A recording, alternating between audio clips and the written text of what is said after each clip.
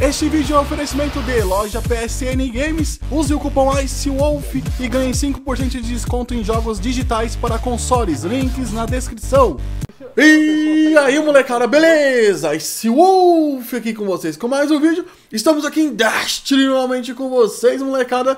E é o seguinte, vamos continuar aqui com aquela série Testando armas do armeiro. E a arma dessa semana testada foi a Tessan FF4 como vocês estão vendo aí de fundo. Eu não sou um jogador de fuzil de fusão, raramente jogo esse tipo de arma. Então vamos ver como que eu vou sair aqui com ela. Esses perks aí rolando aí de fundo foi que eu escolhi para colocar na minha arma. Vai ele vai trazer para vocês três armas diferentes com perks aleatórios e você pode escolher alguma que seja parecida com a minha ou que mais te agrade, beleza? Antes de começar aqui a falar sobre a arma para vocês, já dá aquela detonada no like aí, para dar aquela ajudadinha no canal e ajudar o nosso trabalho aqui que a gente está fazendo com vocês, beleza? Então é o seguinte, fuzil de fusão. Vamos falar um pouco mais sobre o fuzil de fusão com vocês antes de falar sobre essa arma em si que acontece? Fuzil de fusão, para quem joga com ele, vocês têm que ter aí, tem que meio que prever o movimento do seu inimigo. Isso mesmo, você vai ter que atirar um pouco antecipado antes de matar seu inimigo, porque tem a carga do fuzil de fusão, que ele dá uma carregada primeiro. Quanto mais rápido a carga para você vai ser melhor. Então você escolha aí um fuzil de fusão que mais te agrade. Esse daqui, ele tem uma carga relativamente baixa, vamos dizer assim. Tem uns que tem carga muito mais rápida que essa daí e é muito mais interessante de se jogar. Só que como a gente está testando armas do armeiro e mostrando para vocês que vocês podem jogar com qualquer arma do Destiny no modo PVP, tirando, logicamente, é, os modos é, especial, que seria Trial of Osiris, vamos dizer assim, até uma bandeira de ferro, tem muita gente que joga com armas muito mais fortes do que a gente está acostumado. Então, pra vocês ficarem brincando aí, jogar um crisol, um controle, um enfrentamento ou fazer as semanais, você pode jogar com qualquer tipo de arma e você não ficar restrito aí a sempre as mesmas armas. Assim, você vai melhorar sua gameplay com várias armas diferentes, não ficar só aquelas armas tryhard, vamos dizer assim, são as armas mais apelonas do jogo. Então, dá pra jogar com outro tipo de arma tranquilamente, vocês vão conseguir jogar aí de boas, beleza? Essa arma em si, como eu tava falando, a carga dela é até que rápida, não é a melhor, mas é uma carga bem legal. E só que o que eu achei interessante dela é que você pode aí matar os inimigos com uma certa distância. Só que a gente tá jogando nesse mapinha aí que é bem interessante, bem legal, tipo, usar os pardais aí, como vocês estão vendo. E essa arma aí, até que eu pensei que ia ser bem ruim nesse mapa, até que deu pra dar uma brincada legal com ela. Logicamente não é indicado para esse tipo de mapa, porque é um mapa muito longe para acertar os inimigos, só que dependendo das bandeiras que vocês ficarem, vocês vão conseguir matar os inimigos de boinhas. Eu vou tentar evitar aqui de usar especiais e tal. O fuzil de fusão, caso vocês acertem aí a rajada completa dele, vocês conseguem matar com hit kill, vamos dizer assim, né? Apenas com uma rajada você vai conseguir matar os inimigos. Então eles são bem recomendados. Eu não gosto muito desse tipo de arma porque eu gosto mais das sniper, como vocês sabem. Então eu normalmente não jogo com eles. Eu coloco sempre a sniper aí no lugar do mesmo jeito que eu não jogo de 12. Só que a gente vai testar aqui com vocês todas as armas. Eu vou dar uma sofrência aqui tentar jogar com várias armas diferentes com vocês. Então nem sempre eu vou ir tão bem. Só que esse fuzil de fusão em si, como eu não jogo de fuzil de fusão e eu fui bem com ele, então achei que é um fuzil indicado para vocês aí, um fuzil de fusão que compensa assim vocês acabarem adquirindo aí no armeiro, pelo menos para testar ela aí. Depende de você que já joga de fuzil de fusão provavelmente você já testou ela e vocês vão ver que ele é bom sim. Vocês vão ver que tem que dar uma prévia ali, ó.